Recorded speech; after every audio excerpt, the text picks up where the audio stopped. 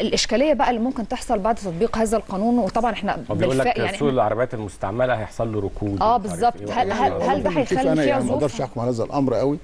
وجهة نظري مش هيحصل. وبعدين فندم هو القانون ما اتطبقش لسه ده مجلس الوزراء. ده اسم مقترح بقانون بيطلعه إلى إلى مجلس الدولة. مجلس الدولة بعد ما يبقى يعني. طبعا إحنا عايزين نأكد للمشاهدين إن إحنا مش مش ضد إنه يطبق بالعكس ده مصلحة. المواطن هي أول حاجة بنناقش كل الاولويه الأوجه للناس يعني. صحيح. في ناس هتبقى ضد وناس مع في أي حاجة في الدنيا. بالظبط، كده آه، آه. لكن هيروح مجلس الدولة ومجلس الدولة هيبعته إلى السلطة التشريعية هي مجلس النواب.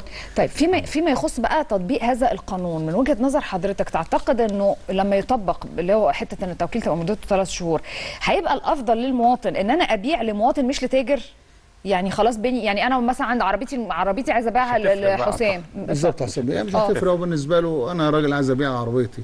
فيعني سيادتك عارفة جميع دلوقتي يعني وسائل التواصل موجود في إعلانات العربيات أو بيروح لتاجر السيارات.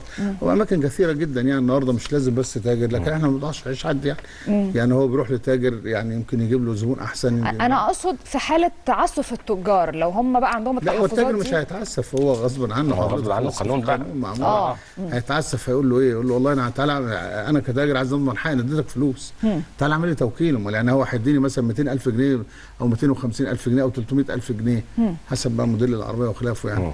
وفي الآخر كده مع الش... ادي له ورقة كده. طب التاجر في حالة إن العربية قعدت عنده أكتر من ثلاث شهور يعمل إيه؟ بيبقى موقفه إيه بقى؟ يعني القانون في الحالة دي هو موقفه إيه؟ القانون. واضح سيادتك. التوكيل اتلغى آه التوكيل اتلغى فهو مصلحته يعمل إجراءاته. طيب.